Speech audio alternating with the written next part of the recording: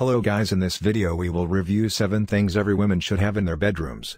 These products will make their bedroom time satisfying. Check the links shared in the description box for more details.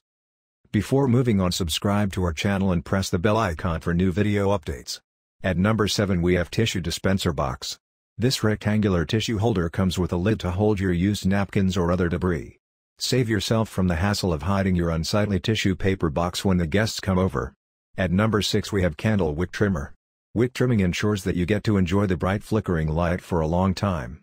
It can easily remove all the wax buildup around the cotton or wooden wicks to let them burn fully to the bottom. At number 5 we have Teddy Bear Bag.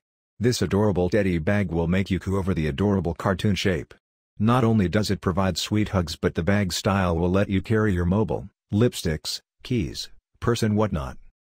At number 4 we have Cuticle Nipper. Our cuticle trimmer can be used to clean toenails for a refreshing pedicure session at home.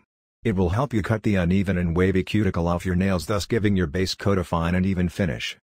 At number 3 we have Unicorn Phone Holder. The bright colors and adorable cartoon design stand out from all the clutter at your bedroom table. You can also play with it poking the sleeping unicorn whenever you feel bored.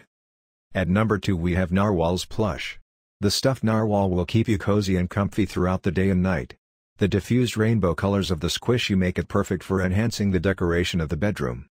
At number 1 we have Ball Massage Roller.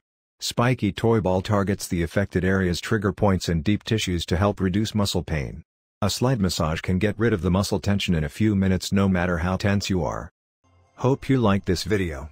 Share it with your family and friends.